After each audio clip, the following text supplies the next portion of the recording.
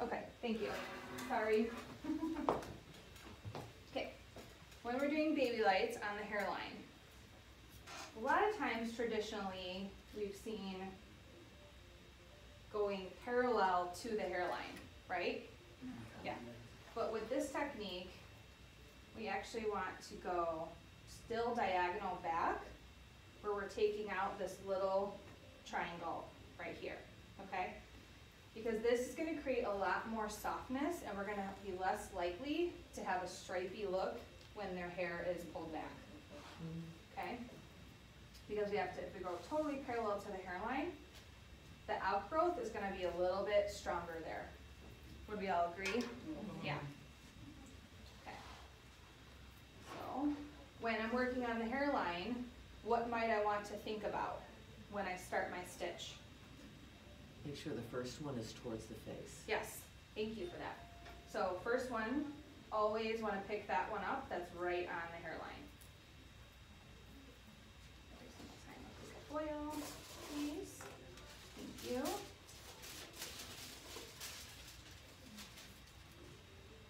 Get my lightener, place it down a little lower, feather it up. Okay. And now I'm, I'm starting working with my alternating colors of my Blonde Idol High Lift and my, my Blonde Dimensions lightener. Maybe still using my ten volume, but maybe getting into a twenty volume now, depending on how fast I did the back sections. Now, how far apart do we think I should go with this one? A little bit closer. A little closer, right, so Three quarters maybe like a half an inch apart. Still staying diagonal back.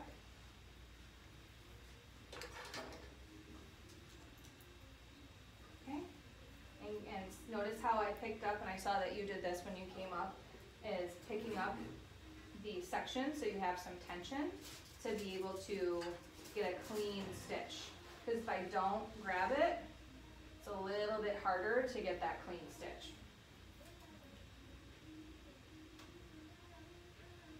Okay, already one there, thank you so much. And we're gonna just keep working our way up that section and always grabbing that first stitch right on the hairline. And then we will move on to the top, so I can show you guys how we would attack that part.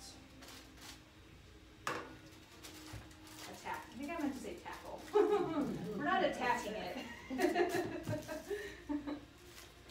And I always like to fold my foils like clean with my, my section, right? That way it's not coming off over here and it's not, they're a lot easier to move around if we are gonna do a color in between. Okay, so when we are working in the top mohawk section, so obviously we repeat same thing on this side. We'll drop that down. We still wanna do diagonal lines, right? So this particular guest parts the hair in the middle, so I can start on either side, it doesn't matter. But if they, let's say she did part off to the right side, I'm gonna start on the side where the part is. Because if I'm starting right where the part is, what am I gonna, what's that gonna help me to achieve? In the front, what's everybody, what's everybody like right nowadays, that's, I have in my hair? The face framing, the muddy Blonde, piece, yeah. Blonder, it's gonna be blonder on that side. So if I say she parts on the right, I'm going to start on the right. Or think of it as starting on the more shallow side, right? Okay, if it's down the middle, Mm-hmm. what would you do? Just simply just choose a side, That's I figured, okay. yes. Or, what else could you do? What do we think? Maybe do both sides? Right, Yeah, do a couple of foils and then just go back to the, And then go back to the the angle. continuing, right. correct. Cause some people have a really harsh, um, widow's peak, Right. right? So just angle the, the two sides and then go back And then go straight. back to the side where, So- yeah, right, okay. whichever side you choose. Right, Cause it's okay. basically, Doesn't it's matter. gonna look blended either way, Right, right, and it's okay. not gonna, it's gonna look the same e- either way. So if they switched their part, would you wanna do both sides too? So they could go- Sure, you could. hmm So see how I, I took out that triangle, Right, but I'm still, I'm not coming right on that hairline. Right. I'm skimming off the surface of my triangle. Okay, do this guy. Thank you. And now I'm probably using my law dimensions with twenty, maybe thirty volume. Developer, and then I would use that just all the way through and stop using my highlight Klondike. Okay. And now we're on the top, so maybe we're gonna go down to like a quarter inch apart, right? So keeping them a little closer together, but we're still not wanting to do back to back. Cause anytime we have a back to back, it's gonna be a harsher grow out right there. Okay, what do you guys think is gonna happen when I get to right about here? What am I gonna need to do? More than one foil? More than one foil, absolutely, thank you. So, anytime we have a section that's wider than a peace sign, we need another foil. So then, we would just split it in half, do this side. Like that, and then continue and do a second foil over there, and just do that all throughout the middle, wherever we think it's too wide for just one foil. And then, as you're working, I'm standing off to the side just for demonstrative purposes, so you guys can all see. But, you know, keep your body positioning where it's comfortable for you and the client. But I like to stand right in front. Typically, I would be standing like right here, right in front of my foil. So we would do our second foil here on this side. Continue working back. Now, what might I wanna do once I'm getting towards the back of this top section with my body? Stand on the other side. Thank you. So then, so you're not overexerting yourself and reaching mm-hmm. forward or making your client like really tilt their head down, you can simply just stand in the back and work from the back to the middle. Sound good? Yeah. Mm-hmm. Awesome, okay. Do you guys wanna, does anybody else wanna come up and try baby lights? No? Okay. Now, one more thing that's really cool that we do with this technique is, and let me actually grab some gloves.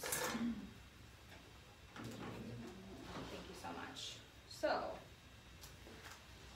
I love doing this on, this could be done on a virgin head of hair, it could be done on, um, you know, someone who already has an all over color, but we just wanna give them a little bit of dimension.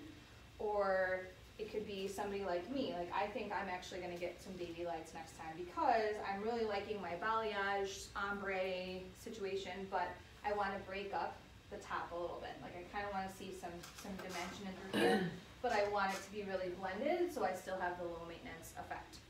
So, this would be really good for that, someone like me. But however, say this was a virgin head of hair, the first time application, the way that we're gonna make it look the most natural is to add a little more lightness to the ends too, right? Because over time, our ends are older, they've seen more sun, they have, it should be a little lighter down here. And if this is all really solid, one color, it's still not gonna look, it's gonna look too highlighted. So, we could finish our whole entire baby lights application and then balayage in between the baby lights. So I'll show you guys on this back section because I already did a few throughout this. So this is a little bit more organic of a balayage. I'm gonna show you guys the classic balayage next, which is little triangles and we actually go in a little bit more of a structured sectioning. But for this, we simply wanna just get some lightener on there and get those ends lighter. And we're not overthinking it. So, depending on the density of the client's hair, we wanna take like probably three to four foils worth of hair. Okay, and you could choose, you know, we didn't highlight down here, so I don't think I would balayage down here. If you wanted to, you could.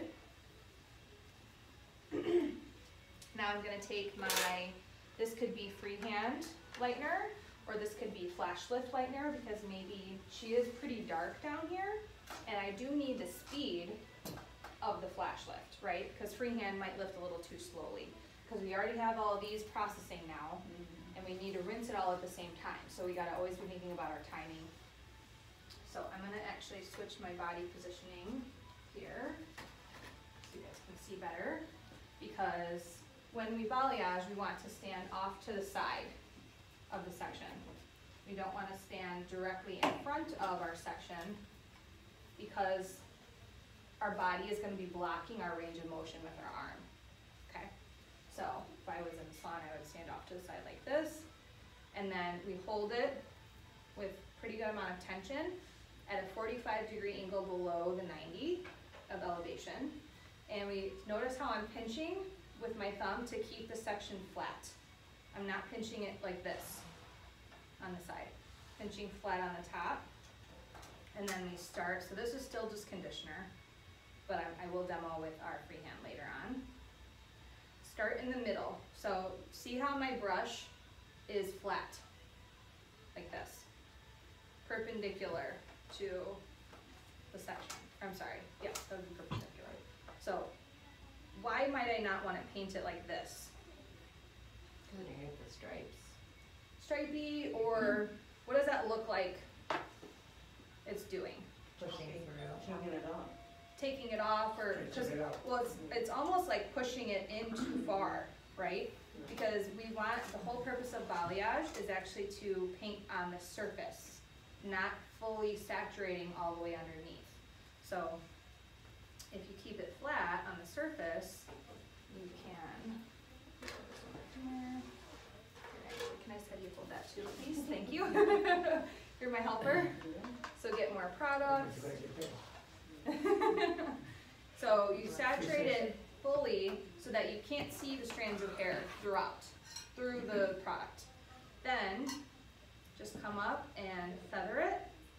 So either you could make a W, we could make a V shape, but just make it really soft up here, and then we can even use our pinky to further soften that.